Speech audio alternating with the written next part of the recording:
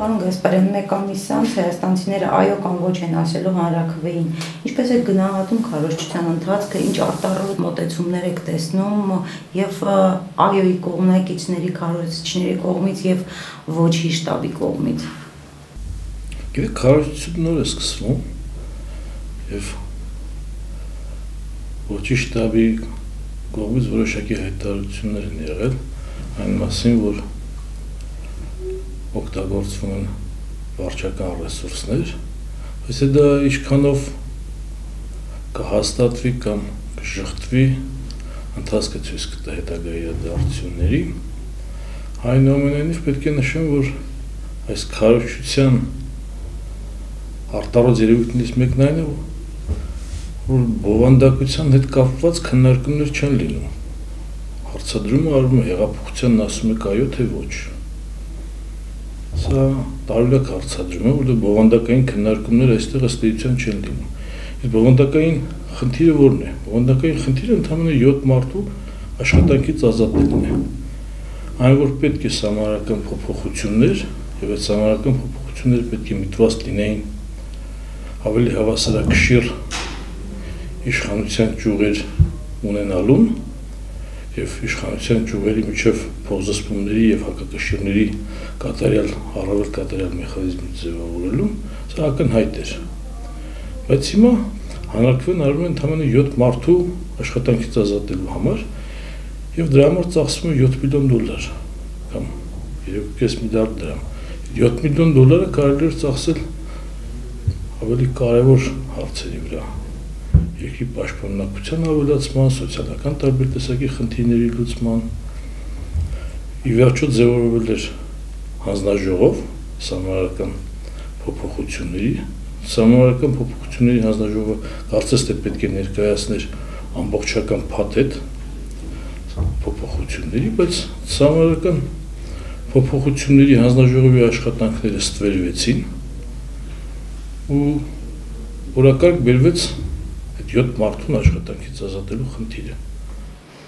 Պարոն Գասպարյան, դրանց 2 տարի առաջ 2018 թվականի գարնանը մարդիկ դուրս եկան փողոց դժգոհելու, բողոքելու սահմանադրական փոփոխություններից կամ սահմանադրության փոփոխությունների արդյունքում վարչապետին տրված լիազորություններից նաև խոսվում էր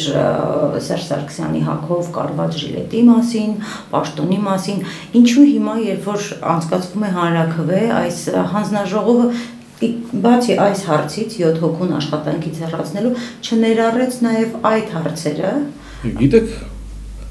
սահմանադրություն չի կարելի անդադ փոխել։ Սահմանադրությունը պետք է փոխել որոշակի բարբերականությամբ եւ այդ որոշակի պարբերականությունը ենթադրում է սոցիալ-քաղաքական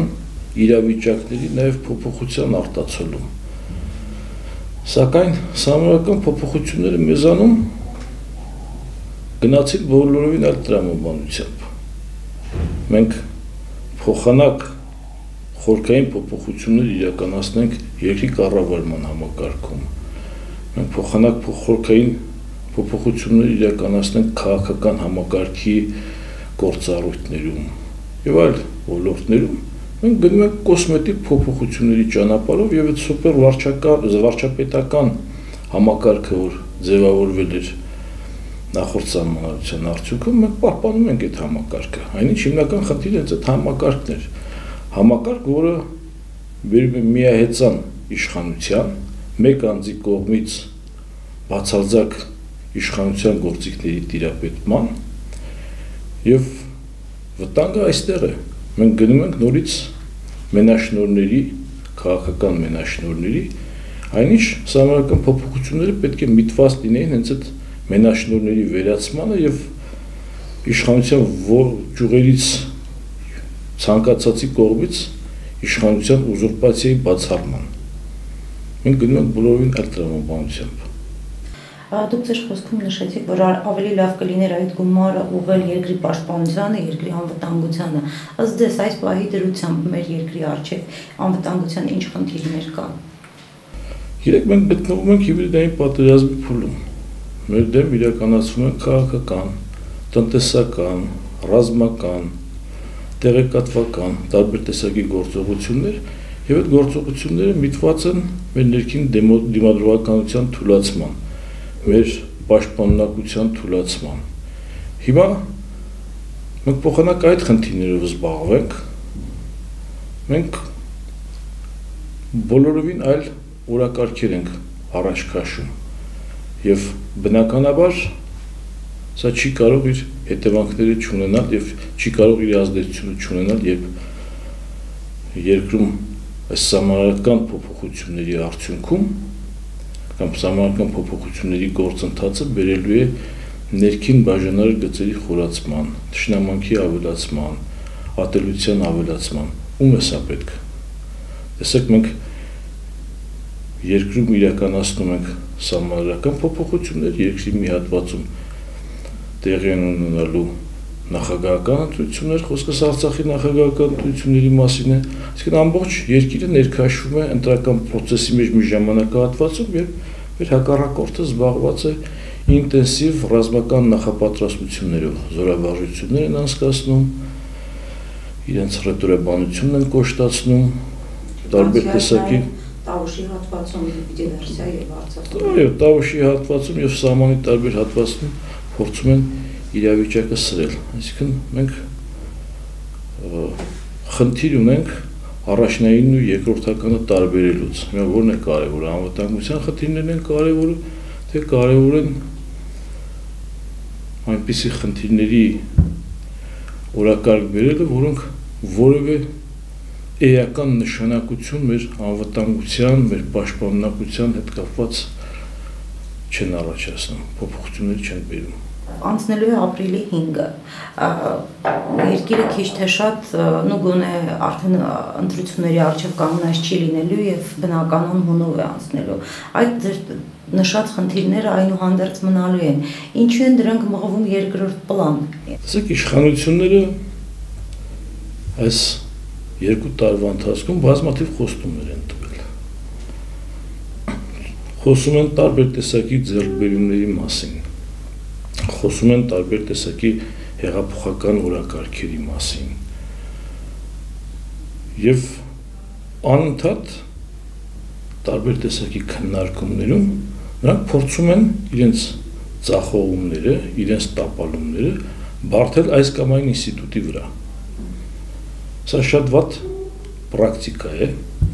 Մեղավոր է պետական համակարգը, մեղավոր են ուժային կառույցների ղեկավարները, Հիմա մեղավոր է համարական դատարանը։ Նրանք փոխանակ իրենց խնդիրները լուծեն, ներդրումային միջավայրը բարելավեն, տնտեսական փոկում իրականացնեն, վարչական ապարատը վերափոխեն, արդյունավետությունը բարձրացնեն, զբաղված են մեղավորների փնտրտուքով եւ մեղավորներ նշանակելով։ Սա է հիմնական խնդիրը մեղավորների փնտրտուքից բացի արդյոք գտնում են այդ մեղավորներին եւ ինչ է լինում այդ մեղավորների հետ կա իշխանությունների բաժանման սկզբունք հիմա սահմանական դատարանը դատական համակարգը պետք է առանձին լինեն քաղաքական իշխանությունից ամեն անգամ քաղաքական իշխանության փոփոխում սրանք չպետք է փոխվեն այլապես սա բերելու է